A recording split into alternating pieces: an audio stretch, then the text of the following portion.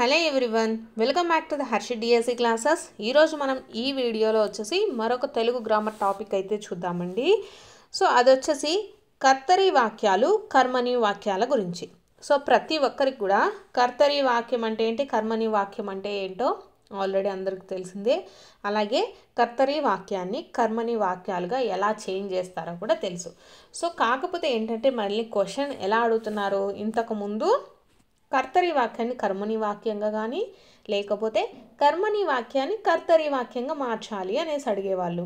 కానీ ఇప్పుడు వచ్చేసి ఒక వాక్యం ఇచ్చేసి దాంట్లో కర్త ఏంటి కర్మ ఏంటి? సో కర్తకు మనకు ఏ విభక్తి వచ్చి చేరింది అనేటటువంటి అంశాలను అయితే అడుగుతున్నారు కాబట్టి సో ఈ టాపిక్ గురించి కూడా మీరు క్లియర్గా అయితే చదువుకోండి. సో అక్కడ మనము ఎక్కడ కన్ఫ్యూజ్ అవుతాము ఈ టాపిక్లో అనేది ఈ వీడియోలో చెప్తానండి. ఫస్ట్ది కర్తరి వాక్యం అంటే ఏదో చూద్దాం. సూర్యుడు వెలుగును పంచుతాడు. పై వాక్యంలో వెలుగును పంచే పని చేస్తున్నది సూర్యుడు అనమాట సో కనుక సూర్యుడు కర్త. ఇక్కడ కర్త అయిన సూర్యుడు ప్రథమా విభక్తిలో ఉంది. అంటే సూర్యుడు అంటే డు వచ్చింది కదండి మనకు లాస్ట్లో. సో డూములు మనకు ఏ విభక్తిలో ఉంటాయి? ప్రథమా విభక్తిలో ఉంటాయి. పంచడం అనే పని పనికి గురి అవుతుందన్నమాట. సో వెలుగు వెలుగుకు వెలుగు కనుక వెలుగుకు ద్వితీయ అభివ్యక్తి చేరింది. ఇక్కడ వెలుగును అనేసి వచ్చింది కదా. సో ఇక్కడ మనకు ను అనేటటువంటిది చేరిందండి. అని ప్రయోగించబడింది. వాక్యం కర్త అయిన సూర్యుడిని ప్రధానం చేసి చెప్పి చెప్పబడినందున ఇది కర్తరి వాక్యం అవుతుంది. క్రియతో అన్వయించే పదము వాక్యంలో ప్రధానమైనది. ఇక్కడ కర్త క్రియతో అన్వయిస్తున్నది కాబట్టి ఇది కర్తరీ వాక్యం అనేసి ఇచ్చారు. సో మరొక ఇంపార్టెంట్ ఏంటంటే కర్తరీ వాక్యాలంటే కర్త ప్రధానంగా గల వాక్యాలను కర్తరీ వాక్యాలు అంటారు. అంటే మనకు కర్తరీ వాక్యం అంటే ఏంటి? దాంట్లో కర్త ఉండాలి. సో అది మనకు ప్రధానంగా ఉండాలి. అంటే ఇంపార్టెన్స్ మొత్తం కర్త వల్లనే రావాలండి. కర్తరి వాక్యంలో కర్మకు ప్రథమ విభక్తి వస్తుంది. కర్మకు ద్వితీయ విభక్తి వస్తుందండి. కర్తరి ప్రయోగంలో కర్తను బట్టి క్రియావాచకాలు ఉంటాయి అనేసి ఇది మనకు ఇంపార్టెంట్. నేర్చుకోవాల్సింది ఏంటి కర్త ప్రధానంగా గల వాక్యాలను ఏమంటాము? కర్తరి వాక్యాలు అంటారు. అలాగే కర్తరి వాక్యంలో కర్తకు ఏ విభక్తి వస్తుంది అనేసి అడిగారండి ఇంతకుముందు టెట్లో. సో కర్తరి వాక్యంలో కర్తకు ఏమొస్తుందండి? ప్రథమ విభక్తి వస్తుంది. కర్త ఎవరండి? సూర్యుడు. డు అంటే డూములు మనకి ఏ విభక్తి? ప్రథమ విభక్తి కింద వస్తాయండి. నెక్స్ట్ కర్మకు ద్వితీయ విభక్తి వస్తుంది. సో ఇక్కడ మనకు కర్మ ఏంటండి? వెలుగును అనేది కర్మ. ను అనేది మనకు ఏ విభక్తి? ద్వితీయ విభక్తి వస్తుందన్నమాట. కర్తకు ఏమొస్తుంది ప్రథమ విభక్తి. కర్మకు ద్వితీయ విభక్తి వస్తుందండి.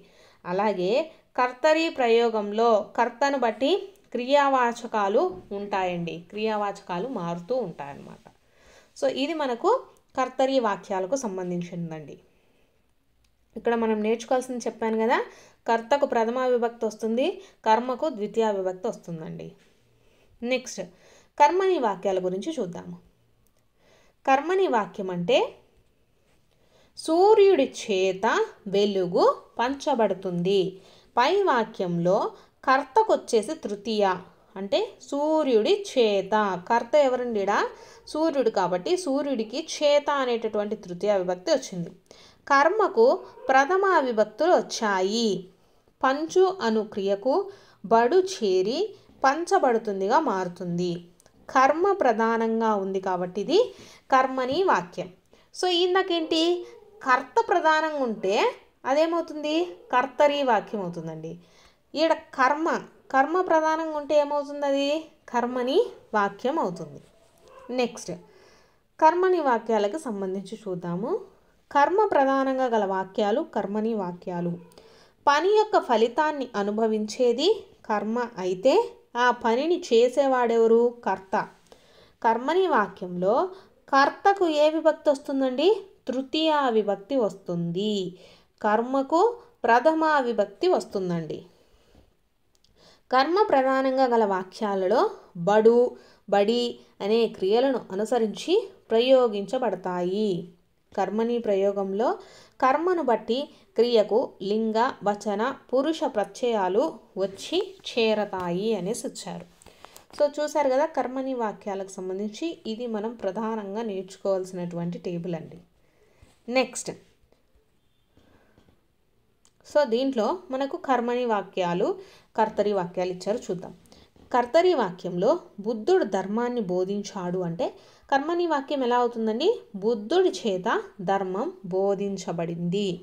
నెక్స్ట్ సెకండ్ వన్ శ్రీకృష్ణదేవరాయలు కవులను పోషించాడు. శ్రీకృష్ణదేవరాయలు చేత కవులు పోషించబడ్డారు. దాతలు గొప్ప దానాలు చేస్తారు చేస్తున్నారు.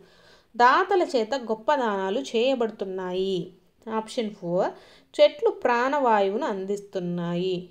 చెట్ల చేత ప్రాణవాయువు అందించబడుతోంది అనేసి ఇచ్చారండి. సో నెక్స్ట్ ఇక్కడ మనకు కొన్ని ఎగ్జాంపుల్స్ కూడా ఇచ్చారండి. కర్తరి వాక్యాలను కర్మని వాక్యాలుగా మార్చాలి. ఫస్ట్ది ఆమె పాట పాడింది అనేసి ఇచ్చారు. ఆమె చేత పాట పాడబడింది.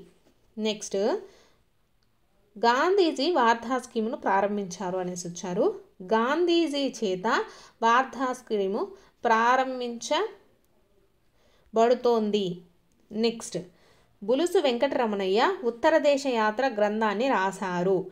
బులుసు వెంకటరమణయ్య చేత ఉత్తర దేశ గ్రంథ గ్రంథము రచించబడినది అని రాయాలి. నెక్స్ట్ షాజహాన్ తాజ్మహల్ని నిర్మించాడు అనేసి వచ్చారండి. షాజహాన్ చేత తాజ్మహల్ నిర్మించబడినది. సో ఇలా మనకు కర్మని కర్తరి వాక్యాలుగా మార్చాలండి.